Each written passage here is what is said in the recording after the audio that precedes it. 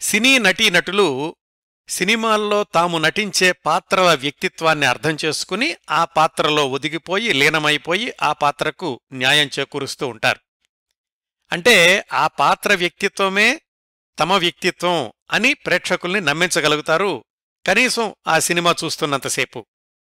నటీనటుల నిజ జీవితంలోని వ్యక్తిత్వం వెండితెర మీద నటించే పాత్ర వ్యక్తిత్వానికి పోలి ఉండాల్సిన పనిలేదు ఎందుకంటే వివిధ సినిమాల్లో వివిధ రకాలైన పాత్రలు ధరించాల్సి ఉంటుంది కాబట్టి ఏ సినిమాకి సంబంధించి ఆ పాత్ర వ్యక్తిత్వాన్ని నటించాల్సి ఉంటుంది.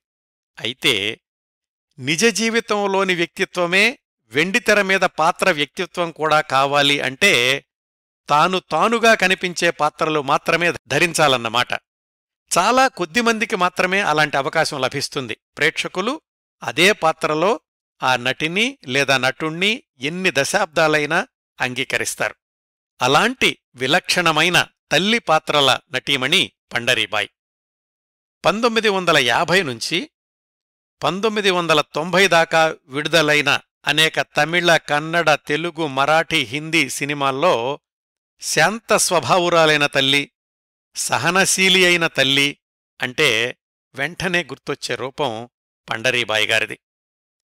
పిల్లల్ని కష్టపడి పెంచే తల్లి భర్త ఎన్ని ఇబ్బందులు పెట్టినా భరిస్తూ పిల్లల్ని తన రెక్కల్లో పొదువుకునే తల్లి అన్నదమ్ములు పోట్లాడుకుంటుంటే చూస్తూ కుమిలిపోయే తల్లి ఇంట్లో సమస్యలన్నింటినీ సహనంతో శాంతంగా పరిష్కరించే తల్లి.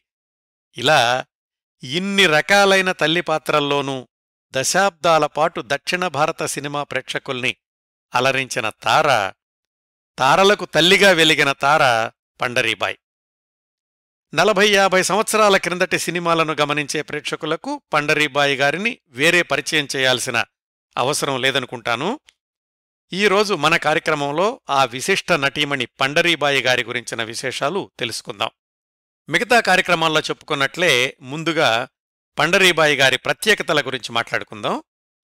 సుమారుగా యాభై సంవత్సరాల వెండితెర జీవితంలో తమిళ కన్నడ తెలుగు హిందీ మరాఠీ భాషల్లో దాదాపు వెయ్యి పైగా చిత్రాల్లో నటించిన రికార్డు పండరీబాయి గారిది.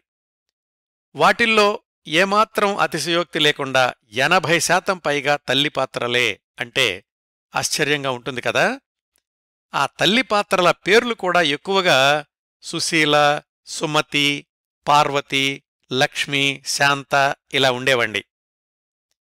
తన పది పన్నెండేళ్ళ వయసులోనే వెండితెర జీవితాన్ని ప్రారంభించినా ఆ తర్వాత పదేళ్ళపాటు చాలా చిన్న పాత్రలు ఎవరూ గుర్తించని పాత్రలతోటే సరిపెట్టుకోవాల్సొచ్చింది. కన్నడ కంఠీరవ రాజ్కుమార్ నడిగర తెలగం శివాజీ గణేశన్ల తొలి చిత్రాల కథానాయిక పండరీబాయి గారు. బహుశా ఆమె రూపురేఖల పరిమితి వల్లనేమో హీరోయిన్గా ఎక్కువ సినిమాల్లో కొనసాగలేదు. ఆమె శివాజీ గణేశన్తో పరాశక్తి రాజ్కుమార్తో బేడర కన్నప్ప చిత్రాల్లో హీరోయిన్గా నటించి తమిళ తెలుగు కన్నడ భాషల ప్రేక్షకుల్లో గుర్తింపు తెచ్చుకున్న కొత్తలోనే అంటే పంతొమ్మిది వందల యాభై నాలుగు ప్రాంతాల్లో కినిమా అనే సినిమా పత్రిక ఆమె గురించి ఏం రాసిందంటే తెర మీద ఆమెను చూడగానే ఒక సాధుశీల సరళ హృదయ ఉదార స్వభావ శాంతచిత్త సహన సంపన్నురాలైన స్త్రీ స్ఫురిస్తుంది. ఇంకా ఈ వార్త రాసేటప్పటికీ ఆమె తల్లి పాత్రల వైపు మళ్ళలేదండి. ఆ సమయంలోనే ఇది వ్రాశారు. ఇంకా ఏం రాశారంటే ఇది పండరీబాయి వాస్తవ స్వరూపం కూడా. చొరవ యుక్తి గడుసుతనము వంచనాశక్తి ఆమెలో కలికానికి కూడా దొరికేటట్టు కనపడవు. ఆమె సౌందర్యం ప్రేక్షకులను సమ్మోహితులను చేయలేకపోవచ్చు. ఆమెలో తళుకులు కులుకులు బెళుకులు లేకపోవచ్చు. కాని ఆమె తన నటన ద్వారా ప్రేక్షకుడి మనసుకి శాంతినిస్తుంది. ప్రేక్షకుడిలో సద్భావాలను రేకెత్తిస్తుంది. మళ్ళీ చదువుతున్నానండి. ప్రేక్షకుడిలో సద్భావాలను రేకెత్తిస్తుంది. ఇలాంటి పాత్రలు మన చిత్రాలలో ఎంత అవసరమో పండరీబాయికి ఈనాడు సినిమా రంగంలో అంత ప్రాముఖ్యత ఉన్నది. ఆ విధంగా రాజ్ కుమార్ శివాజీ గణేశన్ల పక్కన కథానాయికగా నటించిన పండరీబాయి గారే తరువాతి సంవత్సరాల్లో వాళ్ళకి తల్లిగా అనేక సినిమాల్లో నటించారు.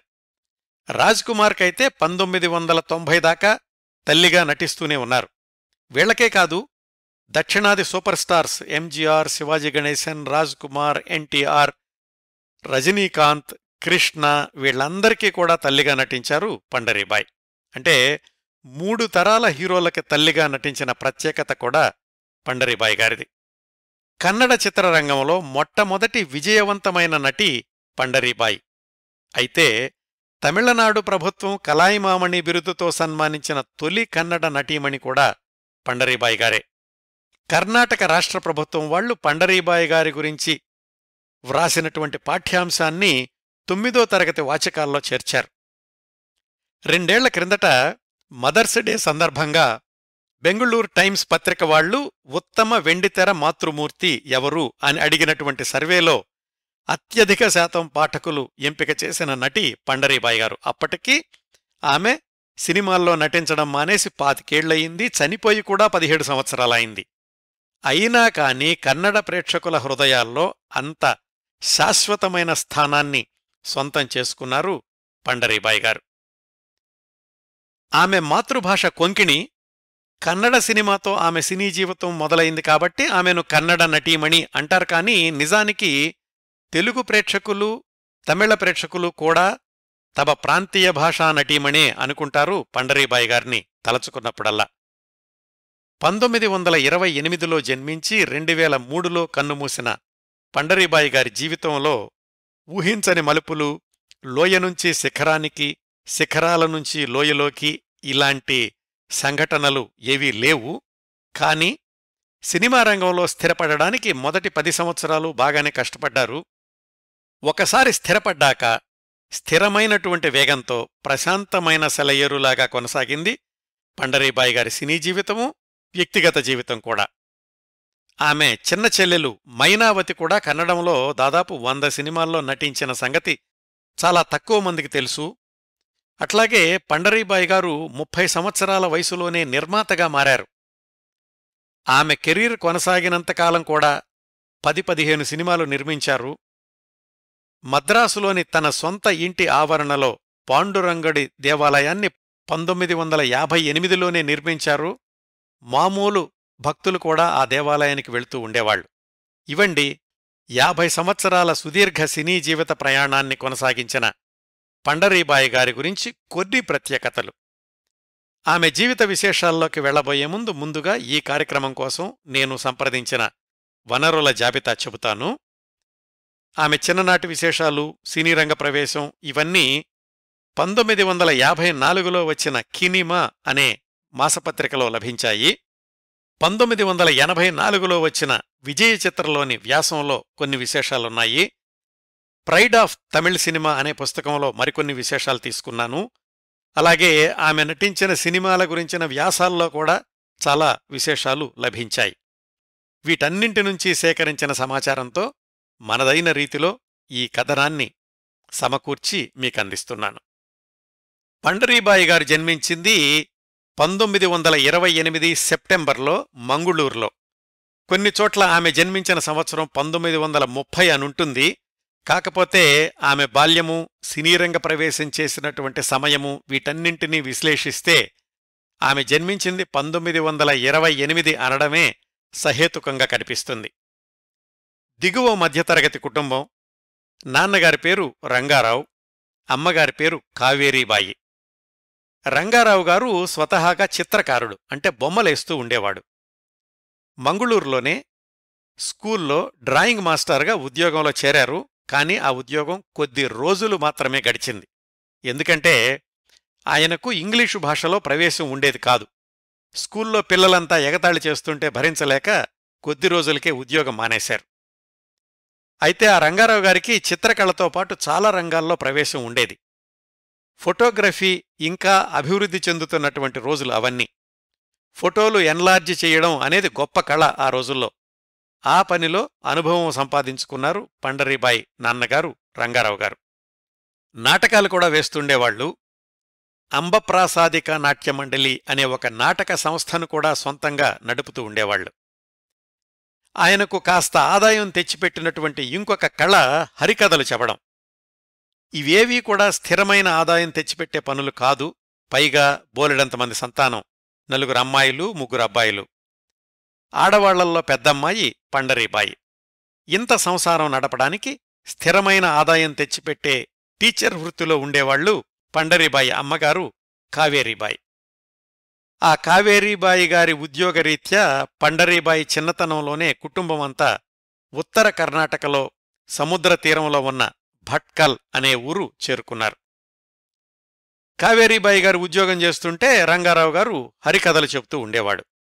ఇద్దరి సంపాదనతోటి ఆ పెద్ద కుటుంబం నడవడానికి బొటాబొటిగా సరిపోయేది. రంగారావు గారు తాను వేసేటటువంటి నాటకాల్లో తన కొడుకులతో వేషం వేయించేవాడు కాని ఆడపిల్లల్ని మాత్రం నాటకాల వైపు రానిచ్చేవాడు కాదు. అయితే పండరీబాయికి చిన్నప్పట్నుంచి ఉన్నటువంటి ఆసక్తిని గమనించి తాను చెప్పే హరికథలకు తీసుకెళ్తూ ఉండేవాడు. నెమ్మదిగా హరికథలు చెప్పడం పండరీబాయికి నేర్పించాడు. సుమారుగా పదేళ్ళ వయసు వచ్చేసరికే పండరీబాయి హరికథలు చెప్పడంలో మంచి పేరు తెచ్చుకున్నారు. కన్నడ భాషలోనే కాకుండా మరాఠీ భాషలో కూడా హరికథలు చెప్పడంలో ప్రావీణ్యత సంపాదించారు. ఆమెను ఆ రోజుల్లో ప్రేక్షకులు బాగా ఆదరించి అడిగి మరీ చెప్పించుకున్న హరికథలు సుకన్య పురందరదాసు ఇలాంటివి. ఆమె హరికథా నైపుణ్యానికి మెచ్చి మైసూరు ప్రేక్షకులు పండరీబాయి గారికి చిన్నతనంలోనే కీర్తన కోకిల అనే బిరుదు కూడా ఇచ్చారు. హైస్కూల్లో చేరిన తొలి సంవత్సరాల్లోనే హరికథలు చెప్పడంలో బిజీ అయిపోయిన పండరీబాయి గారి చదువు ఆరేడు తరగతులతోటే ఆగిపోయింది. అంటే యాభై సంవత్సరాల్లో వెయ్యి పైగా చిత్రాల్లో నటించిన పండరీబాయి చదువు హైస్కూలు కూడా పూర్తి కాలేదన్నమాట. ఆమె ఆర్జించిన జ్ఞానం నటన తెలివితేటలు సంస్కారం ఇవన్నీ కూడా రంగస్థలం మీద సినీ జీవిత ప్రయాణంలోనూ సంపాదించుకున్నవే. పండరీబాయి అన్నయ్యల పేర్లు జగన్నాథ్ సదాశివ్ విమలానందదాస్ ముగ్గురూ కూడా నాన్నగారితో పాటుగా నాటకాల్లో వేషాలు వేస్తూ ఉండేవాళ్ళు పెద్దవాళ్ళిద్దరికీ హార్మోనియం వాయించడం వాటిని రిపేరు చేయడంలో ఆసక్తి ఏర్పడితే మూడో అన్నయ్య విమలానందదాస్కి మాత్రం నాటకాలు వేయించడంలో ఆసక్తి పెరిగింది. పండరీబాయిని నటిని చేసింది ఆమె జీవితంలోని తరువాత మలుపులకు బీజం వేసింది ఈ మూడో అన్నయ్య విమలానందదాసే. అదెలా జరిగిందంటే వాళ్ళ నాన్నగారు ఆడపిల్లల్ని నాటకాల వైపు రానిచ్చేవాడు కాదు అని చెప్పుకున్నాం కదా అయితే మూడో అబ్బాయి విమలానందదాసు మాత్రం నాన్నగారులాగానే సొంతంగా తను కూడా ఒక నాటకాల కంపెనీని ఆదర్శక నాటక కంపెనీ అనే పేరుతో మైసూరులో ప్రారంభించాడు. సుమారుగా ఆ సమయంలోనే వాళ్ళ కుటుంబం అంతా మైసూరుకి వెళ్ళిపోయింది. విమలానందదాస్ ఒక నాటకం వేసేటప్పుడు అందులో ప్రధాన పాత్రలో నటించాల్సిన నటికి చిట్ట చివర్లో ఏదో ఇబ్బంది వచ్చింది ఆవిడ రాలేకపోయింది. వేరే వాళ్ళెవరూ సమయానికి దొరకలేదు. ఇంకోవైపేమో కాంట్రాక్టు నాటకం కాబట్టి ఆపడానికి వీల్లేదు. అప్పుడు విమలానందదాస్ చెల్లెల్ని అడిగాడు కొంచెం నాటకంలో వేషం వేయొచ్చు కదా అని. సహజంగానే తండ్రికి ఇష్టం ఉండదు కాబట్టి ముందుగా జంకినప్పటికీ అన్నయ్య విమలానంద్ దాసు ధైర్యం చెప్పాడు.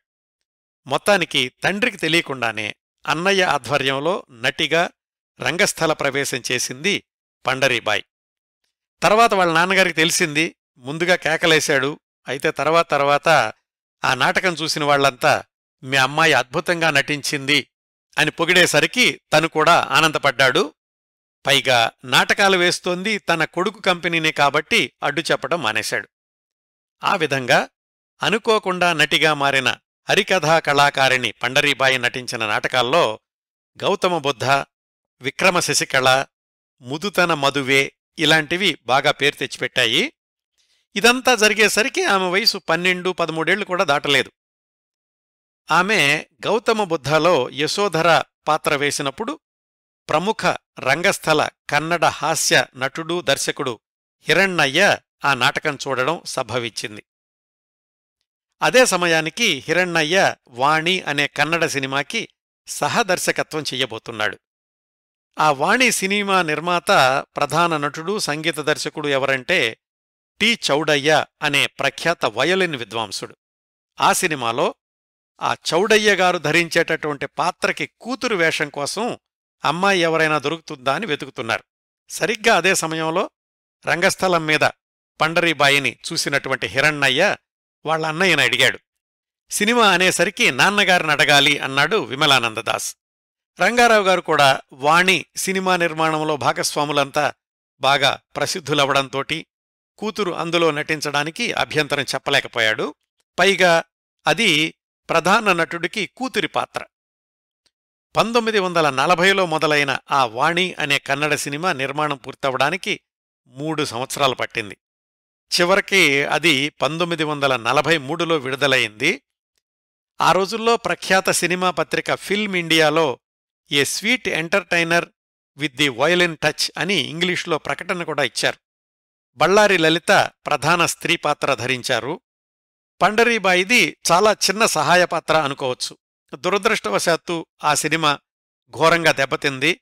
ఆ సినిమా తెచ్చిపెట్టినటువంటి నష్టాల నుంచి తేరుకోవడానికి నిర్మాతగా వ్యవహరించిన చౌడయ్య గారికి చాలా సంవత్సరాలు పట్టింది. అప్పట్లో దక్షిణ భారతీయ భాషల సినిమా నిర్మాణం అంతా కూడా ఎక్కువగా మద్రాసు కొల్హాపూరు కోయంబత్తూర్లలో జరుగుతూ ఉండేది. వాణి సినిమా నిర్మాణం జరిగినన్ని రోజులు పండరీబాయి తన హరికథా కార్యక్రమాల్లోనే కొనసాగిస్తూనే ఉన్నారు. ఆ సంవత్సరాల్లో అంటే పంతొమ్మిది వందల నలభై నలభై ఏడు ఆ మధ్యలో కన్నడ సినిమాల నిర్మాణం చాలా మందకొడిగా ఉండేది. రికార్డు పరంగా పండరీబాయి నటించిన మొదటి చిత్రం కన్నడ చిత్రం వాణీనే. కానీ దానివల్ల ఆమెకేమీ పెద్దగా పేరు రాలేదు. అదే కాదు ఆ తర్వాత దాదాపు పదేళ్ళపాటు ఆమె నటించినవన్నీ కూడా చాలా చిన్న చిన్న పాత్రలే. వాణి చిత్రం షూటింగులో ఉండగా పండరీబాయిని చూసిన సుందర్రావు నాదకర్ణి అనే దర్శకుడు తను దర్శకత్వం చేస్తున్న హరిదాస్ అనే తమిళ సినిమాలో అతి చిన్న పాత్రలో నటించడానికి అవకాశం ఇచ్చాడు. ఈ హరిదాస్ అనే సినిమా గురించి ఎంకే త్యాగరాజ భాగవతారు గురించి నేను ప్రసారం చేసిన ఎపిసోడ్లో వివరంగా చెప్పాను. తమిళ చలనచిత్ర చరిత్రలో చిరస్థాయిగా నిలిచిపోయినటువంటి చిత్రం ఈ హరిదాస్.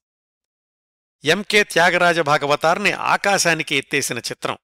మద్రాసులోని బ్రాడ్వే థియేటర్లో నూట పది వారాలు నిరాటంకంగా నడిచి రికార్డు స్థాపించిన చిత్రం కూడా ఈ హరిదాస్. పంతొమ్మిది వందల నలభై నాలుగు దీపావళికి విడుదలయ్యింది.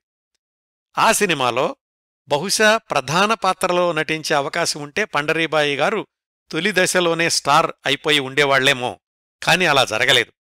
హరిదాస సినిమాలో హీరో ఎంకేటి స్త్రీలోలుడు. అందులో వాళ్విల్ ఒరె తిరునాళ్ అనే పాటలో ఎంకేటి గుర్రం మీద వెళుతూ దారిలో ఎదురైన అమ్మాయిల్ని ఆటపట్టిస్తూ ఉంటాడు. ఆ అమ్మాయిల్లో ఒక అమ్మాయి పండరీబాయి. ఆ పాట చివరి చరణంలో హరిదాస్ బారి నుంచి తప్పించుకోవడానికి అడవుల్లోకి పరుగెడుతుంది ఒక అమ్మాయి. ఆ అమ్మాయే పండరీబాయి గారు. ఆ తర్వాత చాలా రోజులకి ఎంకేటి పండరీబాయి గారితోటి సారీ చెప్పాడట. ఆ పాటలో నేను హాయిగా గుర్రం మీద స్వారీ చేస్తుంటే నువ్వేమో కాళ్ళకి చెప్పులు కూడా లేకుండా ఆ చెట్ల మధ్యన పరిగెత్తావు నిన్ను చూసి చాలా జాలేసింది అని. అది ఆమె నటించిన రెండవ చిత్రం మొదటి తమిళ చిత్రం అన్నమాట. ఈ రెండు సినిమాల తర్వాత పండరీబాయికి ఉన్నంతలో కాస్త గుర్తింపు తెచ్చిపెట్టినటువంటి చిత్రం ఆమె నటించిన మూడవ చిత్రం భక్త కుంబార కన్నడ పౌరాణిక చిత్రం. దీని నిర్మాత ప్రఖ్యాత నటుడు దర్శకుడు గాయకుడు హొన్నప్ప భాగవతార్. ఇందులో పండరీబాయికి కాస్త ప్రాధాన్యత ఉన్న పాత్ర లభించింది. ఇంకొక విశేషం ఏమిటంటే ఈ భక్త కుంబారాలో పండరీబాయిని నటిగా మార్చిన వాళ్ళ అన్నయ్య విమలానందదాస్ ఆయన కూడా ప్రాధాన్యత ఉన్న పాత్రలోనే నటించాడు. ఇది పంతొమ్మిది వందల నలభై తొమ్మిదిలో విడుదలైంది. అంటే పండరీబాయి గారు నటించిన రెండో సినిమాకి మూడో సినిమాకి మధ్యలో ఐదేళ్ళు వ్యవధి ఉందన్నమాట. ఈ మధ్యలో వాళ్ళ అన్నయ్య నాటక సమాజం నడుస్తూనే ఉంది. పండరీబాయి ఆ నాటకాల్లో నటిస్తూనే ఉన్నారు. నాటకాల్లో వాళ్ళ అన్నయ్యతో పాటుగా కలిసి పనిచేసిన ఒక ఆయన తర్వాత రోజుల్లో ప్రముఖ సంగీత దర్శకుడయ్యారు. ఆయనే ఆర్ సుదర్శనం. ఆయనకు ఏవిఎం ప్రొడక్షన్స్లో పనిచేసే అవకాశం వచ్చింది. అప్పటికి అంటే పంతొమ్మిది వందల నలభై ఐదు నలభై ఆరు ప్రాంతాలకి ఏవిఎం స్టూడియో ఇంకా మద్రాసుకు రాలేదు. కారైకుడిలోనే ఉండేది. ఆ విశేషాలు కూడా నేను ఏవి మెయ్యప్పన్ గారి గురించిన కార్యక్రమంలో చెప్పాను. వాళ్ళు తీయబోతున్న వేదాల ఉలగం అనే సినిమాలో ప్రధాన పాత్ర కోసం నటిని వెతుకుతున్నారు. అది స్టూడియో నిర్మించే చిత్రం. వాళ్ళు నెల జీతం మీద రెండు మూడు సంవత్సరాల కాంట్రాక్ట్ మీద తీసుకుంటారు. మీ చెల్లెలికైతే అది మంచి అవకాశం అని పండరీబాయి వాళ్ళ అన్నయ్య విమలానంద్ దాస్కి చెప్పాడు సంగీత దర్శకుడు ఆర్ సుదర్శనం. మెయ్యప్పన్ చెట్టియార్కి పండరీబాయి గారు నచ్చారు కానీ ఆమెకు తమిళం అంత స్వచ్ఛంగా రాదు. అందుకని కన్నడంలో రాసుకుని చదువుతూ ఉండేది. సరే అయితే నిన్ను మా స్టూడియోలో కాంట్రాక్ట్ మీద తీసుకుంటాను. ముందుగా తమిళం నేర్చుకో అన్నారు మెయ్యప్పన్ చెట్టియార్. మరి ఆమె తమిళం ధారాళంగా నేర్చుకునే వరకు సినిమా నిర్మాణం ఆపలేరు కాబట్టి వేరే నటీమణిని హీరోయిన్గా వేదాల ఉలగం సినిమా మొదలుపెట్టేశారు దర్శకుడు చెట్టియార్ గారే. ఆ విధంగా అందులో హీరోయిన్ పాత్ర తప్పిపోయింది పండరీబాయికి. కాని స్టూడియోలో నెలజీతం మీద ఉన్నారు కాబట్టి కాళీమాత అనే చిన్న వేషం ఇచ్చారు పండరీబాయికి ఆ వేదాల ఉలగం చిత్రంలో. అది కూడా సంభాషణలో లేని పాత్ర. ఆ చిత్రం భక్త కుంభార కంటే ముందే పంతొమ్మిది వందల నలభై ఎనిమిదిలో విడుదలైంది. ఈ సినిమా కూడా హిట్ అయింది గాని పండరీబాయి కెరీర్కి ఏమీ ఉపయోగపడలేదు. వేదాల ఉలగం నిర్మాణం తర్వాత ఏవిఎం వాళ్ళే తమ స్టూడియోని మద్రాసుకి మార్చి అక్కడ నిర్మించిన చిత్రం వాళ్కై ఈ చిత్రం గురించి వైజయంతిమాల గారి ఎపిసోడ్లో వివరంగా చెప్పాను. ఈ సినిమాలో అంటే వాళ్కైలో హీరోయిన్ తర్వాత అంత ప్రాధాన్యత ఉన్న పెళ్ళి కాని తల్లి పాత్ర ఇద్దామనుకున్నారు పండరీబాయికి. అయితే అప్పటికూడా ఆమెకు తమిళ ఉచ్చారణ సరిగా రాకపోవడంతోటి పండరీబాయికి ఇద్దామనుకున్న పాత్రను ఎంఎస్ ద్రౌపది అనే నటికిచ్చారు. వాళ్కై పంతొమ్మిది వందల నలభై తొమ్మిదిలో విడుదలయింది అదే సినిమాని ఏవిఎం వాళ్ళు హిందీలో బహార్ అనే పేరుతోటి పునర్నిర్మాణం చేశారు. దాన్లో పండరీబాయి గారికి వాళ్కైలో ఇద్దామనుకున్న పాత్ర ఇచ్చారు. సినిమాలో చాలాసేపు కనిపించే పాత్ర నటనకు చాలా అవకాశం ఉన్న పాత్ర అమాయకమైన పల్లెటూరు యువతి ఆ ఊరికి అతిథిగా వచ్చిన అబ్బాయి చేతిలో మోసపోవడం అతడ్ని వెతుక్కుంటూ పట్నం వెళ్ళడం ఓ పసిబిడ్డకు జన్మనివ్వడం ఇలా సాగుతుంది పండరీబాయి ధరించిన పాత్ర బహార్లో. ఆమె ముఖంలో సహజంగా కనిపించే అమాయకత్వం సాధుస్వభావం ఆ పాత్రకు సరిగ్గా సరిపోయాయి. అప్పటి వరకు ఆమె నటించిన సినిమాలతో పోల్చుకుంటే ఎక్కువ నిడివిగల పాత్ర ఈ బహార్లోదే. అయితే ఒక విశేషం ఏమిటంటే పండరీబాయి అన్న పేరు ఉత్తర భారతదేశ ప్రేక్షకులకి నచ్చదేమోనని ఆమె పేరు పద్మిని అని మార్చారు బహార్ టైటిల్స్లో. వైజయంతిమాలకు కూడా అదే మొట్టమొదటి హిందీ సినిమా కదా అందుకని టైటిల్స్లో ఇద్దరు నూతన తారలు అని ప్రత్యేకంగా ప్రముఖంగా ప్రకటించారు. ఆ విధంగా కూడా బహార్ సినిమా విజయవంతమైనప్పటికీ పండరీబాయి పాత్రను ప్రేక్షకులు మెచ్చుకున్నప్పటికీ ఆమె పండరీబాయి అన్న విషయం ప్రేక్షకుల్లో గాని పరిశ్రమల్లో గాని ప్రాచుర్యంలోకి రాలేదు. అట్లా బహార్ సినిమా కూడా పండరీబాయి వెండితెర జీవితాన్ని ఒక మెట్టు పైకి ఎక్కించలేకపోయింది. ఈ చిత్రం పంతొమ్మిది వందల యాభై ఒకటిలో విడుదలయ్యింది. అప్పటికి పండరీబాయి సినీరంగ ప్రవేశం చేసి రికార్డుల ప్రకారం ఎనిమిది సంవత్సరాలయ్యింది. ఏవిఎం వాళ్ళకు రాసిన కాంట్రాక్టు పూర్తయింది ఆ కాంట్రాక్టులో ఉన్న మూడేళ్ళలో జరిగినటువంటి ఉపయోగం ఏమిటంటే పండరీబాయి తమిళ భాషను క్షుణ్ణంగా నేర్చుకున్నారు. ఏవిఎం కాంట్రాక్ట్ అయిపోయింది కాబట్టి ఇంకా ఆమె బయట సినిమాల్లో నటించొచ్చు. అట్లా ఆమె నటించిన ద్విభాషా చిత్రం రాజా విక్రమ తమిళంలో అదే సినిమా కన్నడంలో శనీశ్వర మహత్యం.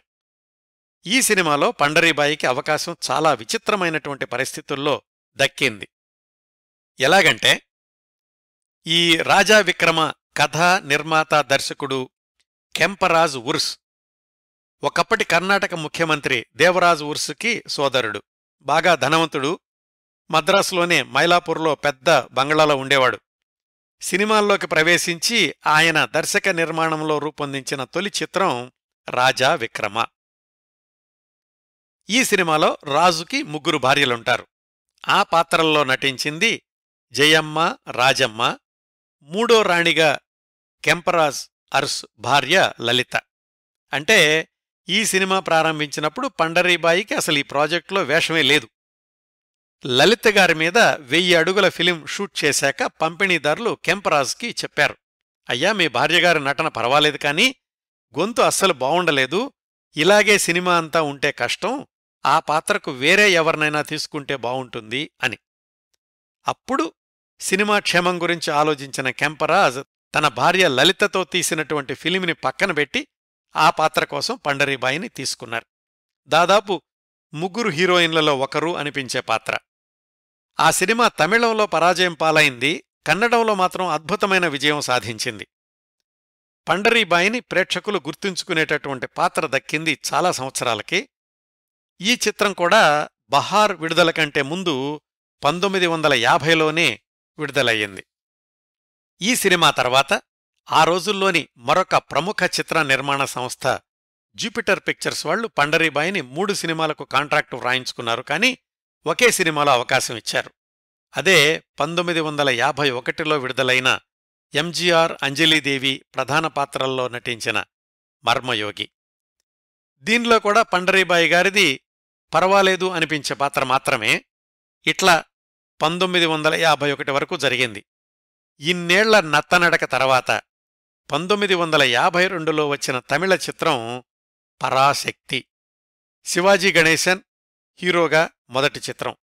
దానిలో లభించిన ప్రధాన పాత్ర పండరీబాయి గారి నట జీవితాన్ని పూర్తిగా మార్చేసింది.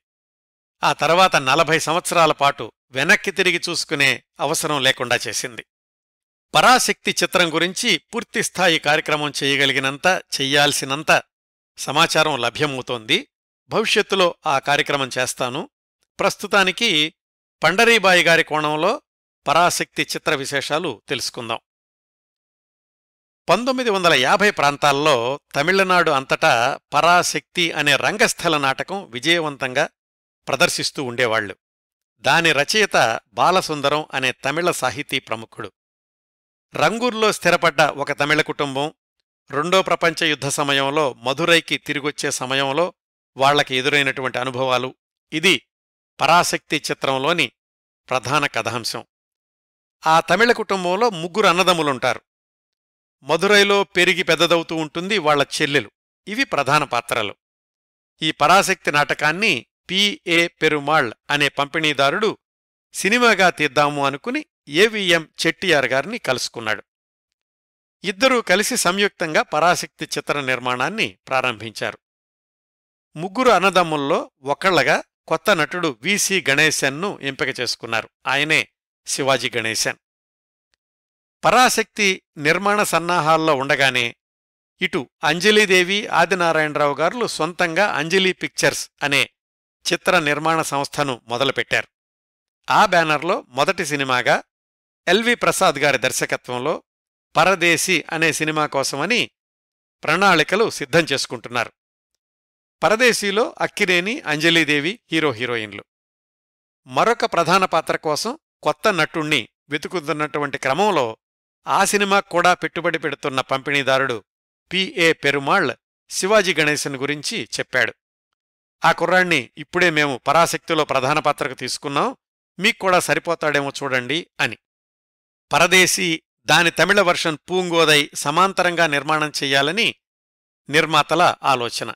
ఎలాగూ హీరోగా అక్కినేని గారున్నారు కదా రెండో ప్రధాన పాత్రకు తమిళ కుర్రాడైతే బావుంటుంది అనుకున్నారేమో గాని ఆ పాత్రకు శివాజీ గణేశన్ని ఎంపిక చేసుకున్నారు. అయితే పరాశక్తి విడుదలయ్యాకే పరదేశీని విడుదల చేసుకోవాలి అని షరతు పెట్టాడు ఆ పంపిణీదారుడు పిఏ పెరుమాళ్. అందుకని శివాజీ గణేశన్ హీరోగా పరాశక్తి ముందుగా విడుదలయ్యింది పంతొమ్మిది వందల యాభై రెండు దీపావళికి. తెలుగు పరదేశీ శివాజీ గణేశన్ మూడవ చిత్రంగా పంతొమ్మిది వందల యాభై మూడు జనవరి పద్నాలుగున సంక్రాంతికి విడుదలయ్యింది. ఇదంతా శివాజీ గణేశన్ గురించిన సమాచారం కదా? పండరీబాయి గారి ప్రసక్తి ఎక్కడుంది అనుకుంటున్నారేమో కదా? ఆమె గురించి చెప్పడానికి ఇదంతా ఉపోద్ఘాతం అనుకోవచ్చండి. పరాశక్తి పరదేశి రెండు చిత్రాల్లోనూ పండరీబాయి గారు నటించారు. ఇవి విడుదలవడం అయితే పంతొమ్మిది వందల యాభై రెండు యాభై మూడుల్లో జరిగాయి కానీ నిర్మాణం మాత్రం పంతొమ్మిది వందల యాభై ప్రాంతాల్లోనే మొదలైంది. అంటే అప్పటికి పండరీబాయి గారు బహార్ రాజా విక్రమ ఆ సినిమాల్లో కూడా నటిస్తున్నారన్నమాట. పరాశక్తిలో పండరీబాయికి శివాజీ గణేశన్ పక్కన జంటగా నటించే అవకాశం చాలా విచిత్రంగా వచ్చింది. నిజానికి పరాశక్తి రంగస్థల నాటకంలో ముగ్గురు అన్నదమ్ముల్లో చిన్న తమ్ముడికి జోడీగా నటించే పాత్ర లేదు. అయితే ఆ నాటకాన్ని సినిమా స్క్రిప్టుగా మార్చే క్రమంలో స్క్రిప్ట్ రైటర్ కరుణానిధికి కథ సరళంగా సాగడం కోసం ఒక పాత్ర అవసరం అనిపించి శివాజీ గణేశన్ను ప్రేమించే అమ్మాయి పాత్రను సృష్టించారు. ఆ పాత్ర కోసం పండరీబాయి గారిని ఎంపిక చేసుకున్నారు. తమ దగ్గరున్నటువంటి రోజుల్లో పండరీబాయికి ఎక్కువ అవకాశాలు ఇవ్వలేకపోయినా రాజా విక్రమ చిత్రంలో ఆమె నటనను చూసి ఏవిఎం చెట్టియారే పరాశక్తిలో ఆ పాత్రకు పండరీబాయిని తీసుకోమని సిఫార్సు కూడా చేశారట. విడుదలయ్యాక పరాశక్తి చిత్రం సృష్టించిన సంచలనం గురించి ఎంతసేపైనా మాట్లాడుకోవచ్చు. తమిళ చలనచిత్ర చరిత్రలో కల్ట్ సినిమాగా నిలిచిపోయింది ఈ పరాశక్తి. శివాజీ గణేశన్ని తమిళ తెరకు దొరికిన మరొక అద్భుతమైన నటుడు అని అందరూ కూడా ప్రశంసించారు. ఆయన పక్కన నటించిన పండరీబాయి గారికి కూడా పత్రికల్లో ప్రేక్షకుల్లో చాలా చక్కటి గుర్తింపు లభించింది. దీంతోపాటే ప్రారంభమైన పరదేశీ ఒక మూడు నెలల తర్వాత విడుదలైందని చెప్పాను కదా! విచిత్రంగా పరదేశీలో పండరీబాయి కొడుకు శివాజీ గణేశన్. పరదేశీలో హీరో అక్కినే నాగేశ్వరరావు గారు కదా? చిత్రకథలో ఆయన మిత్రుడి భార్య పండరీబాయి. పండరీబాయి భర్త చనిపోయేటప్పటికీ ఆమెకు ఒక చిన్న పిల్లవాడుంటాడు.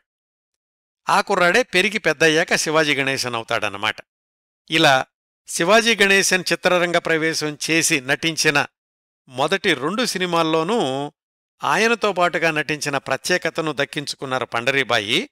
ఒక సినిమాలో ప్రేయసిగా ఇంకొక సినిమాలో తల్లిగా పరదేశీ చిత్రం పరాశక్తిలాగా ఘన విజయం సాధించలేకపోయినప్పటికీ మంచి సినిమాగా పేరు తెచ్చుకుంది. పండరీబాయి గారికి గుర్తింపు మరికొంచెం పెరిగింది. పంతొమ్మిది వందల యాభై రెండు వరకు రెండు మూడేళ్ళకు ఒక సినిమాలో నటిస్తూ వచ్చిన పండరీబాయికి పంతొమ్మిది వందల యాభై మూడు నుంచి దశ తిరిగింది అని చెప్పుకోవచ్చు. బ్రహ్మాండమైన కథానాయిక అన్న పేరు కాకపోయినా చిత్రాల సంఖ్య సంవత్సరం సంవత్సరానికి పెరగడం మొదలైంది.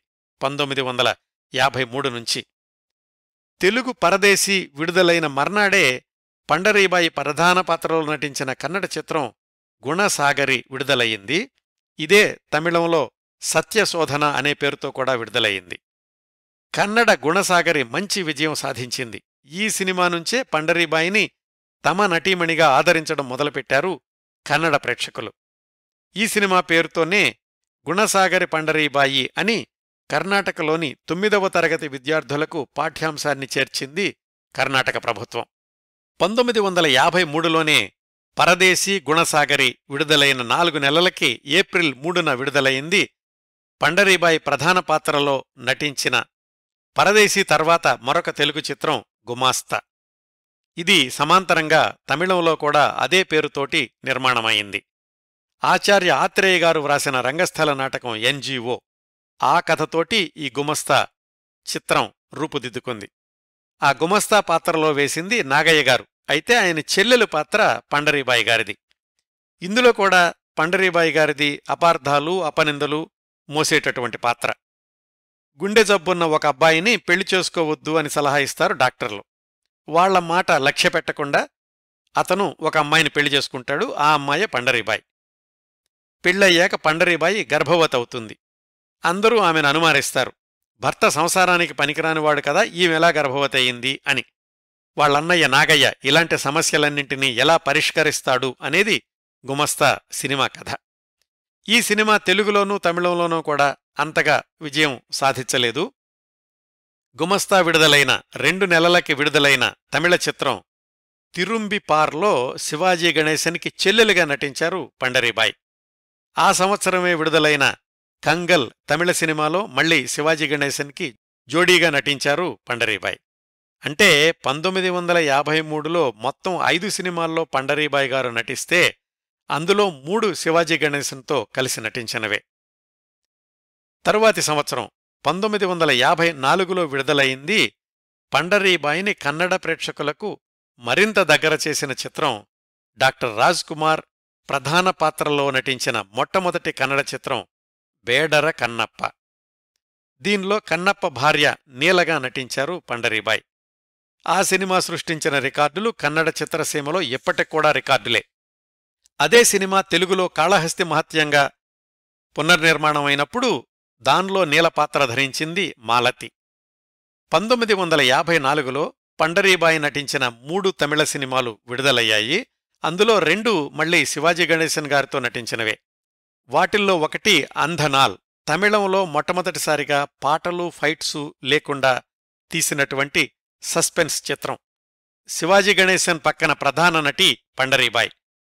విమర్శకుల ప్రశంసలు ప్రభుత్వ పురస్కారాలు అందుకుంది కానీ వాణిజ్యపరంగా విజయవంతం కాలేదు ఈ అంధనాల్ తమిళ చిత్రం.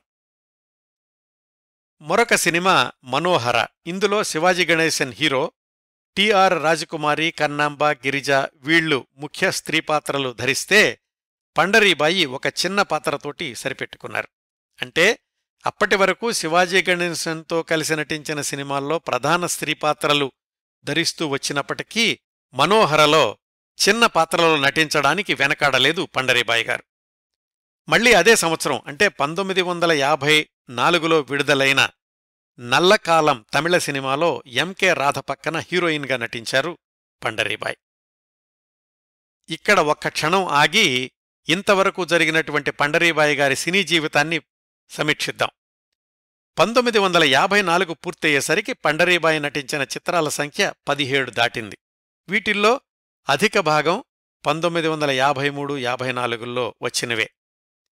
వీటిని సమీక్షిస్తే శివాజీ గణేశన్ మొదటి చిత్రం నుంచి ఆయన ఎదిగే క్రమంలో నటించిన చాలా తమిళ సినిమాల్లో నటించారు పండరీబాయి. అయితే కేవలం ఆయన పక్కన హీరోయిన్ కావాలని గిరిగీసుకోకుండా ఏ పాత్ర దొరికినా చేశారు పండరీబాయి. అలాగే పండరీబాయి గారికి లభించిన ఇంకొక అవకాశం ఆ రోజుల్లో చాలా ద్విభాషా చిత్రాల్లో అంటే కన్నడం తమిళం తమిళం తెలుగు ఇలాంటి వాటిల్లో నటించడం. దీనివల్ల గ్లామరస్ హీరోయిన్ కాకపోయినప్పటికీ మూడు భాషల ప్రేక్షకుల్లోనూ తనదైన గుర్తింపు తెచ్చుకోగలిగారు పండరీబాయి గారు పరాశక్తి దర్శకద్వయం కృష్ణన్ పంజు అలాగే బేడర కన్నప్ప దర్శకుడు హెచ్ఎల్ఎన్ సింహ వీళ్ళు తమ తర్వాత సినిమాల్లో వరుసగా పండరీబాయి గారికి అవకాశాలిచ్చారు. ఏవిఎం స్టూడియో వాళ్ళు తీసిన ప్రతి ద్విభాషా చిత్రంలోనూ పండరీబాయి గారికి ఒక పాత్ర ఖచ్చితంగా ఉండేది. ఈ సంవత్సరాల్లోనే ఇంకొక విశేషం పండరీబాయి చెల్లెలు మైనావతి ఆమె కూడా సినీరంగ ప్రవేశం చేశారు. పంతొమ్మిది వందల యాభై మూడులో విడుదలైన కంగల్ తమిళ చిత్రంలో పండరీబాయిది ప్రధాన పాత్ర అయితే ఆమె చెల్లెలు మైనావతి ఒక చిన్న పాత్ర ధరించారు. ఈ పంతొమ్మిది వందల యాభై నాలుగులోనే కినిమాలో వచ్చినటువంటి వ్యాసంలో పండరీబాయి గారి భవిష్యత్తును ఊహిస్తూ ఇలా రాశారు. నిరాడంబరము శాంతియుతము సంప్రదాయ గౌరవాలు గల గృహ వాతావరణంలో వడిదుడుకులు లేకుండా కాలం వెళ్ళబుచ్చుతున్న పండరీబాయి ఒక్కసారి మతాబాలాగా వెలగదు. కాని చిరకాలం నిలిచి ప్రకాశిస్తుంది. తాత్కాలికంగా సినిమా ప్రేక్షకులు కళ్ళు బిరిమిట్లు గొలిపే తారలు వెనకబడిన తర్వాత కూడా పండరీబాయి సినిమా ప్రేక్షకుల ఆదరాన్ని సంపాదించుకుంటూ ఉండగలుగుతుంది అనడానికి సందేహం లేదు. నిజంగా ఈ వార్త వ్రాసినటువంటి విలేకర్ని అభినందించి తీరాలండి.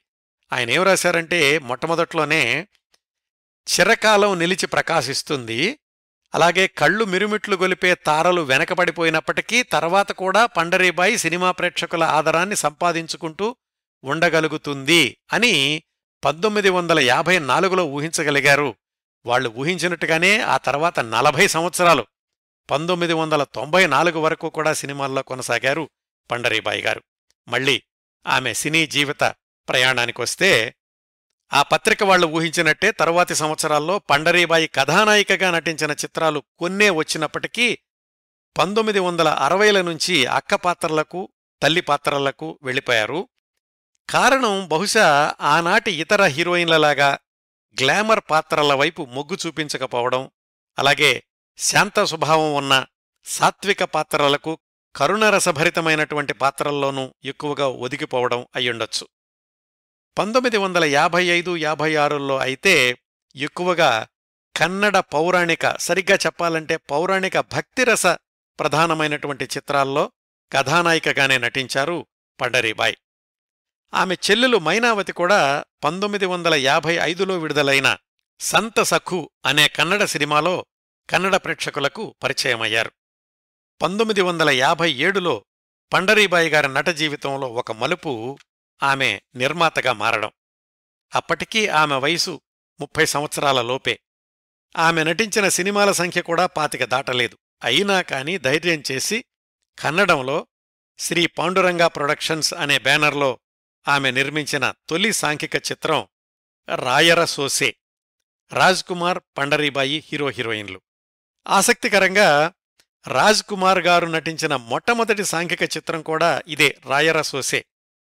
ఆయన మొదటి చిత్రం బేడర కన్నప్ప నుంచి ఈ సినిమా ముందు వరకు ఆయన నటించినవన్నీ కూడా పౌరాణిక గాథలే. ఆ విధంగా కన్నడ కంఠీరవుడికి మొట్టమొదటిసారి సాంఘిక చిత్రంలో నటించే అవకాశం ఇచ్చినటువంటి ప్రత్యేకత నిర్మాతగా పండరీబాయి గారికి దక్కింది. ఈ రాయర సోసే కన్నడ చిత్రం ఇంకొక ప్రత్యేకత ఈ సినిమా ద్వారానే కన్నడ చిత్రరంగానికి పరిచయం అయ్యారు గాయని ఎస్ జానకి. పండరీబాయి నటిగా కొనసాగుతూనే నిర్మాతగా కూడా దాదాపు పది పదిహేను చిత్రాలు నిర్మించారు తన వెండితెర జీవితంలో. పంతొమ్మిది వందల ఎనభై నాలుగు జనవరిలో విడుదలైన ఏఎన్ఆర్ సుజాత హీరో హీరోయిన్లుగా నటించిన కోటీశ్వరుడు చిత్రానికి నిర్మాతల్లో ఒకరి పేరు పిహెచ్ రామారావు అనుంటుంది. ఆయనెవరో కాదు పండరీబాయి గారి భర్తగారే.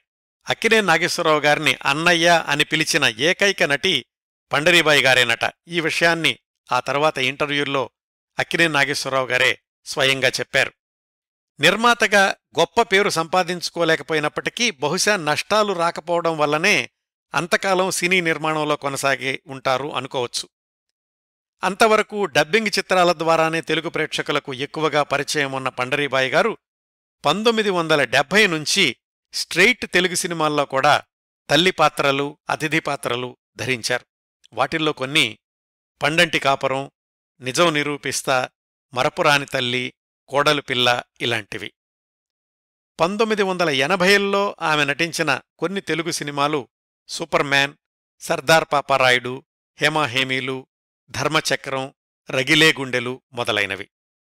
ఆ మూడు దశాబ్దాల్లో పండరీబాయి గారు కన్నడ తమిళ తెలుగు మూడు భాషల చిత్రాల్లోనూ తరచూ కనిపిస్తూ ఉండేవాళ్ళు ఇంకా ఆ దశాబ్దాల్లో పండరీబాయి గారి వ్యక్తిగత జీవితంలోని కొన్ని సంఘటనలు. పండరీబాయి గారు కాస్త ఆలస్యంగా వివాహం చేసుకున్నారు. భర్త పేరు పిహెచ్ రామారావు. పంతొమ్మిది వందల ఎనభై నాలుగులో వచ్చిన విజయ చిత్రలోని వ్యాసం ప్రకారం వాళ్ళకి ఇద్దరు అబ్బాయిలు సంతానం. పంతొమ్మిది వందల యాభై ఎనిమిదిలోనే మద్రాసులోని కోడంబాకంలో పెద్ద స్థలంలో ఇల్లు కట్టుకున్నారు. తమ ఇంటి ఆవరణలోనే తనకి ఇష్టదైవమైన పాండురంగడి దేవాలయం కూడా నిర్మించుకున్నారు. ఆమె జీవించినంతకాలం తన ఆవరణలోని ఆ దేవాలయ సంరక్షణ బాధ్యతలన్నీ ఆమె కుటుంబ సభ్యులే చూస్తూ ఉండేవాళ్ళు బయట వాళ్ళు కూడా చాలామంది ఆ దేవాలయానికి వెళ్తూ ఉండేవాళ్ళు మూడు భాషల్లోని చిత్రాల్లోనూ నటిగా తీరిక లేకుండా నటిస్తూనే పంతొమ్మిది వందల తొంభైల్లో టీవీ సీరియల్స్లో కూడా నటించారు పండరీబాయ్. అప్పటికీ ఆమె చెల్లెలు మైనావతి కూడా దాదాపు వంద కన్నడ సినిమాల్లో నటించారు. ఇది పంతొమ్మిది వందల తొంభై వచ్చేసరికి. ఆమె చెల్లెలి కొడుకులు టీవీ సీరియల్స్ ప్రొడక్షన్స్ రంగంలోకి ప్రవేశించినప్పుడు పండరీబాయి చెల్లెలు మైనావతి ఇద్దరూ కూడా ఆ సీరియల్స్లో నటించారు. పంతొమ్మిది వందల తొంభై నాలుగు డిసెంబర్లో మద్రాసు బయట జరిగిన ఏదో ఫంక్షన్కి హాజరై తిరిగొస్తున్నప్పుడు వెల్లూరు దగ్గరలో పండరీబాయి గారు ప్రయాణిస్తున్న కారుని ఒక లారీ ఢీకొట్టడంతోటి పెద్ద యాక్సిడెంట్ జరిగింది. ఆ ప్రమాదంలో ఆమె ఎడమ చేతిని తీసేయాల్సొచ్చింది. అప్పటికే ఆమె డయాబెటిక్ పేషెంట్ కూడా. ఆ స్థితిలో కూడా ఆమె కొంతకాలం టీవీ సీరియల్స్లో నటించారు కానీ రెండు వేల సంవత్సరం వచ్చేసరికి ఆమె డెబ్భై సంవత్సరాల వయసులో విశ్రాంతి తీసుకోక తప్పలేదు. రెండు వేల రెండు డిసెంబర్లో అనారోగ్య సమస్యలతో మద్రాసులోని అపోలో ఆస్పత్రిలో చేరారు. అప్పటి తమిళనాడు ముఖ్యమంత్రి జయలలిత పండరీబాయి చికిత్స కోసం ప్రత్యేక శ్రద్ధ తీసుకున్నారు. నెల రోజుల తర్వాత రెండు వేల మూడు జనవరి ఇరవై తొమ్మిదిన కన్నుమూశారు పండరీబాయి గారు. కర్ణాటక ప్రభుత్వం ఇప్పటికి కూడా ప్రత్యేక సందర్భాల్లో పండరీబాయి గారి గురించి స్మరించుకుంటూనే ఉంటుంది. ఆ నాలుగైదు దశాబ్దాల సినిమా ప్రేక్షకులు పండరీబాయి గారిని ఎప్పటికీ మర్చిపోలేరు. దిగువ మధ్యతరగతి కుటుంబం నుంచి వచ్చి పదేళ్ళపాటు అవకాశాలు వచ్చి జారిపోయి వచ్చిన అవకాశాలు గుర్తింపు ఇవ్వకపోయినా పట్టుదలగా కొనసాగి హీరోయిన్ అయ్యాక కూడా మళ్ళీ సహాయ పాత్రల వైపు మళ్ళీ యాభై సంవత్సరాల పాటు వెండితెరనే నమ్ముకున్న పండరీబాయి గారి జీవితమూ వ్యక్తిత్వమూ ప్రశాంతమైనవి విలక్షణమైనవి స్ఫూర్తిదాయకమైనవి కూడా. ఇవండి దక్షిణ భారతీయ వెండితెర మాతృమూర్తి పండరీబాయి గారి గురించి నేను సేకరించగలిగినంత సమాచారం. ఈ కార్యక్రమాన్ని ఇంతటితో ముగిస్తున్నానండి. ఈ కార్యక్రమాలను ఆదరించి అభిమానిస్తున్న శ్రోతలందరకు హృదయపూర్వకంగా కృతజ్ఞతలు తెలియచేసుకుంటున్నాను. మళ్ళీ వారం మరొక మంచి కార్యక్రమంతో కలుసుకుందాం. అంతవరకు నవ్వుతూ ఉండండి. మీ నవ్వులు పది మందికి పంచండి. ప్రస్తుతానికి మీ దగ్గర సెలవు తీసుకుంటోంది సదా మీ ఆదరాభిమానాలను కోరుకునే మీ కిరణ్ ప్రభ.